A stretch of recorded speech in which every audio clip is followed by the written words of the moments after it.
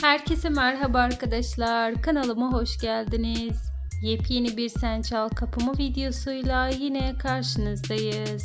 Biliyorum ki herkes ekran karşısında Sen Çal Kapımı dizisini izliyor ve artık 14. bölüm başladı. Bakalım bu akşam neler yaşanacak. Sizler büyük bir ilgiyle 14. bölümü izlerken ben de her zaman olduğu gibi sizler için 15. bölüm setinden gelen muhteşem kariler getirdim. İşte sizler için 15. bölüm kamera arkası görüntüler.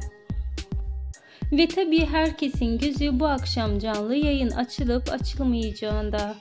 Şimdilik hiçbir haber yok arkadaşlar.